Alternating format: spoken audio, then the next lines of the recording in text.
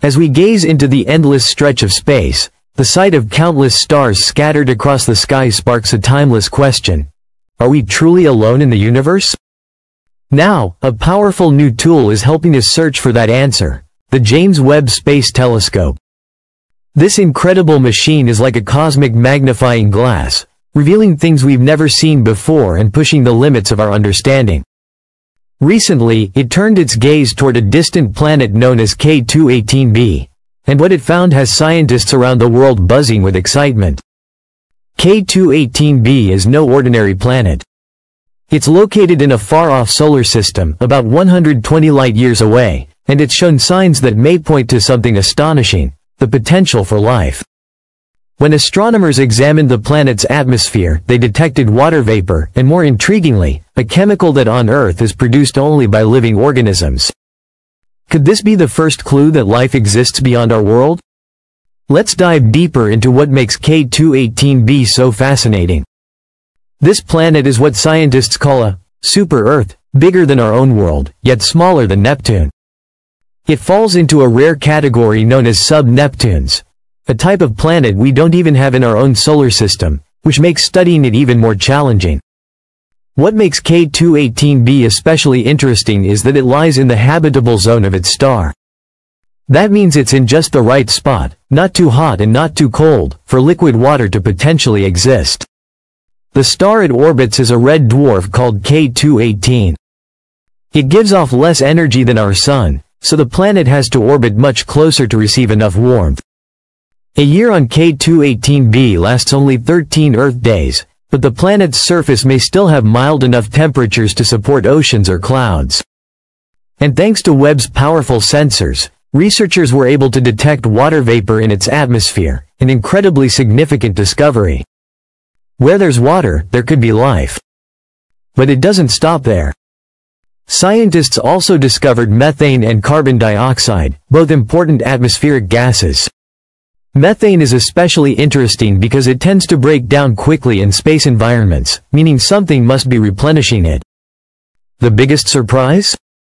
A possible detection of dimethyl sulfide, or DMS. On Earth, DMS is only made by living creatures, especially tiny marine life in the oceans.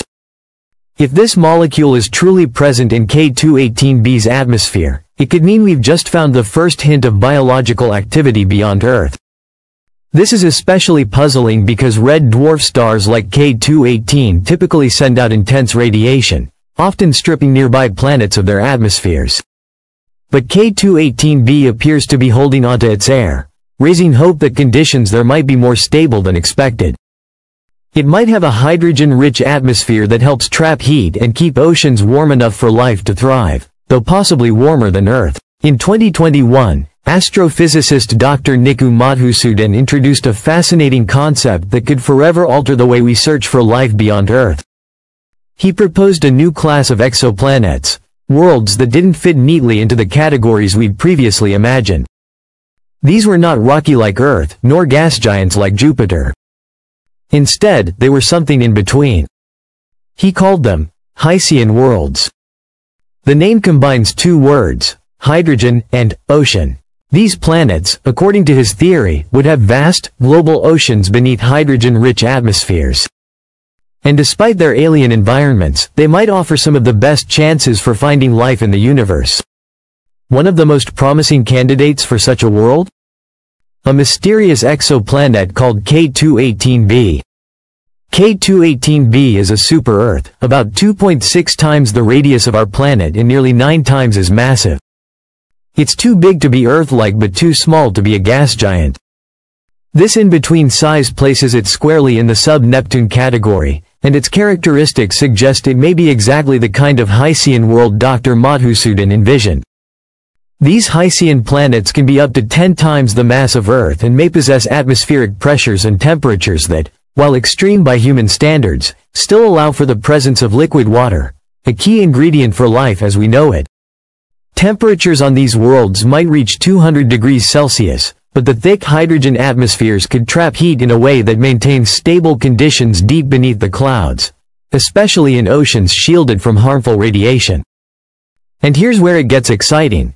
Because these planets are larger and have dense atmospheres, they're easier to study with current space telescopes than smaller Earth-like planets.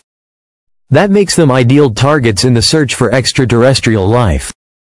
To investigate K2-18b's potential, scientists turned to one of humanity's most advanced tools, the James Webb Space Telescope, JWST. Using a powerful method known as transit spectroscopy, they observed the planet as it passed in front of its host star. This event, called a transit, causes the starlight to filter through the planet's atmosphere, if it has one. Molecules in that atmosphere absorb certain wavelengths of light, creating unique patterns, like chemical fingerprints. By breaking down this light into its components, scientists can detect the specific molecules that make up the planet's atmosphere. It's an incredibly precise technique, allowing researchers to read the chemical makeup of a world light years away, without ever setting foot on it. The results were surprising. Webb detected water vapor, carbon dioxide, and methane, all of which are important building blocks for life-supporting environments. But what truly caught the scientific community's attention was something more unusual, possible signs of dimethyl sulfide or DMS. On Earth, DMS is produced exclusively by living organisms, especially microscopic plankton in the ocean. There is no known non-biological process that produces DMS in significant quantities. If this molecule truly exists in K2-18b's atmosphere, even in trace amounts, it could represent the first serious evidence of biological activity beyond Earth. However, caution is essential.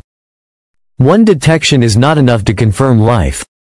Scientists will need to perform many more observations, cross-checking, refining, and ruling out all other possibilities. The road to certainty is long. But even so, K2-18b has already become a landmark in the search for life. It shows that habitable environments may exist not only on Earth-like planets, but on worlds radically different, worlds we once overlooked.